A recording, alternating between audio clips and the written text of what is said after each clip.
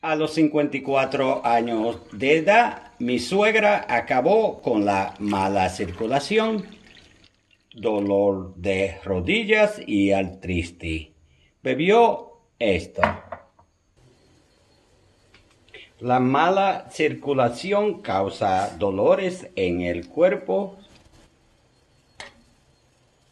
impide que usted pueda caminar con normalidad,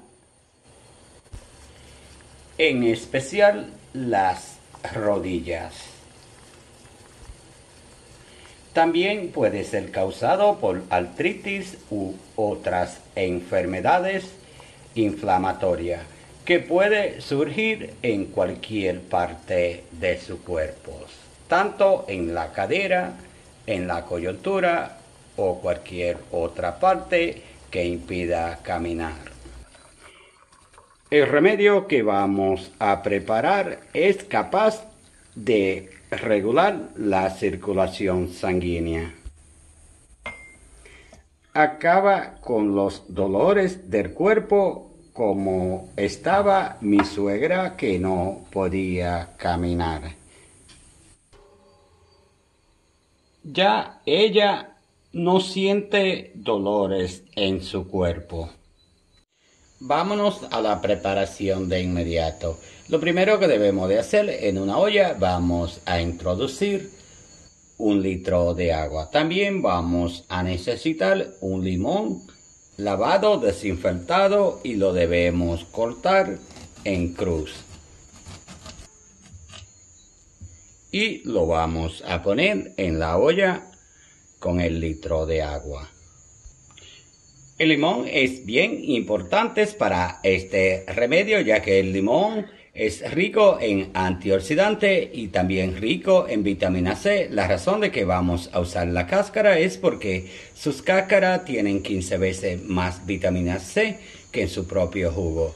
Al igual, los antioxidantes son 18 veces más que en sus jugos. También vamos a utilizar una cucharada de canela molida y la vamos también a introducir con el limón. El siguiente ingrediente es la cúrcuma. Vamos a usar una cucharada de cúrcuma. La cúrcuma, al igual que la canela, es rica en antioxidante, es antiinflamatoria, también baja la inflamación casi de inmediato. Ahora la llevamos al fuego y la vamos a remover bien para que la canela y la cúrcuma unan bien y la vamos a dejar hervir durante 10 minutos. También la debemos tapar y dejarla hervir durante 10 minutos. Ya listo, debemos colarlo. Ya está listo para servir.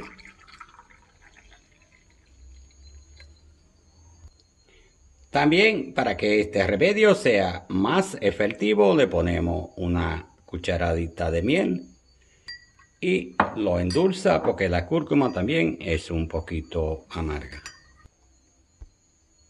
El remedio restante lo podemos poner en un envase grande